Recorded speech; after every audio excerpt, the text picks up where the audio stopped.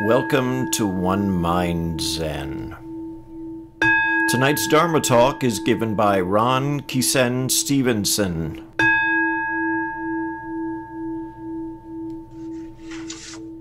Good evening.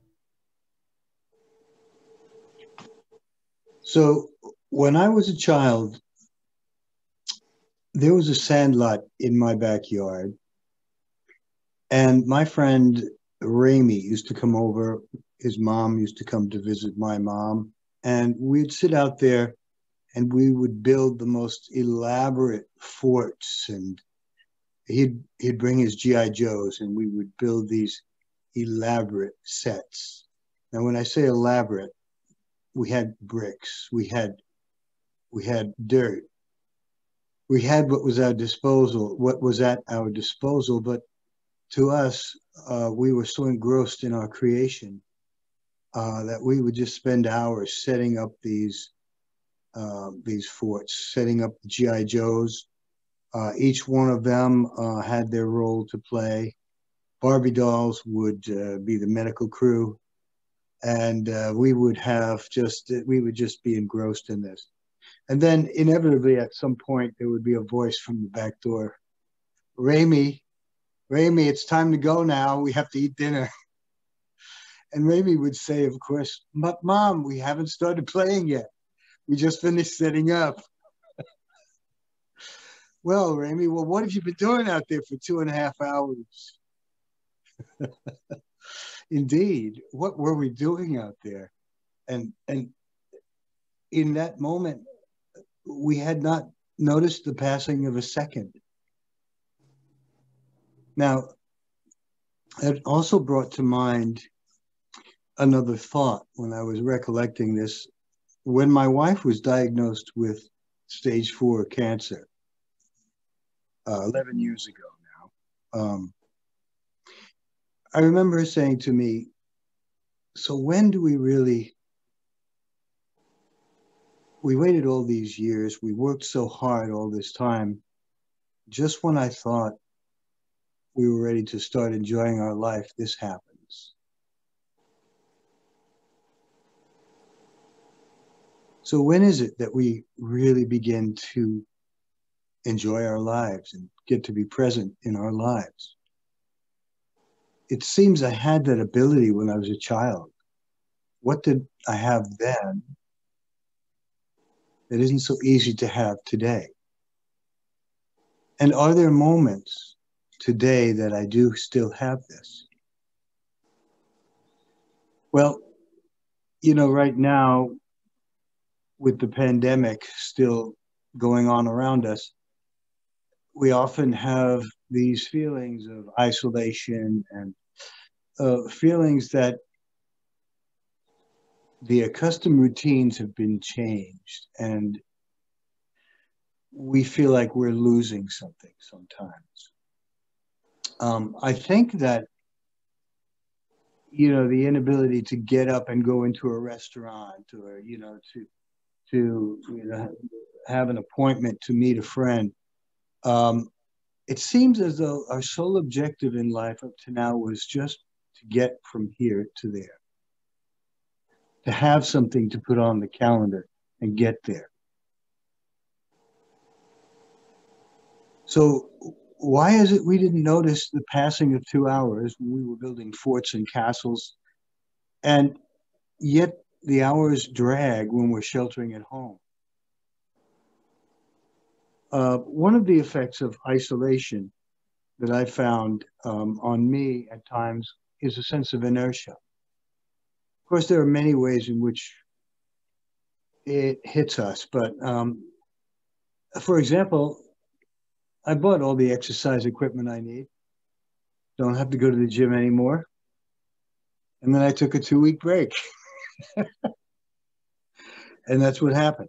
And then through inertia, that stretched into a month. Uh, when I have a task to do, it tends to get procrastinated these days. What is this? What is this inertia? It, it sort of feels like a kind of force weighing down on you. Sometimes you might feel, or I, kind of overwhelmed by things. Uh, as though you have this weight on you and it takes a mammoth effort to overcome. Sometimes it's just a general sense of numbness uh, and a lack of a sense of agency. This, these are some of the things that I felt. Um, but of course, I understand as a good Buddhist that this is just a temporary habituated mental state. Uh, so I, I could inquire into it and ask what emotions it evokes, memories, associations. Uh, I know people seek psychoanalysis to help unravel these, but I don't see the devil as being in the details because associations can be broken and don't always need to be unraveled. I think the important point is to be honest with ourselves, to see it as fully as we can, and to move on from a state of habituated response to a state of presence. A stateless state, if you will. Um, flipping a switch from stagnation and negative thinking can be gratitude, acceptance, satisfaction, and most of all, I find a presence. Um, going out in nature does it for me. Uh, many of you may have interests, musical interests, or perhaps you like to do puzzles, um, or you are an artist, or you write, and you notice this is your sandlot, and this does it for you. But it seems as though society wants to put us in the passive position. So many of us out there are not prepared for isolation because we seek satisfaction. Society conditions us to chase satisfaction. Or is it satiation? Is it really satisfaction? And it conditions us to expect certain things, and when they don't happen, why we buy more things to make them happen. But we're chasing a chimera, we're chasing a ghost. It's a Pavlovian response. Uh, so, what does real satisfaction come from? I guess you might say it comes from accomplishment on one hand, or just the joy of being. Now, even accomplishments are short lived, of course. But there are times that we set an objective for the joy of doing it and the doing it is what matters. And yes, when we were setting up for our GI Joes, absolutely, we didn't care what the end result was or if we ever got to play with them. Same thing when I spend hours playing music with other people and don't realize where the time went, or when you're writing or doing whatever you do that's creative. It's acting without acting responding in mutual engagement with what is present around us. So I don't know if there's a lesson in this or not. I think that um, for me, it can be as simple as a cup of tea, making a cup of tea. Um, when I was young, I studied this system called the Silva method. And they used a uh,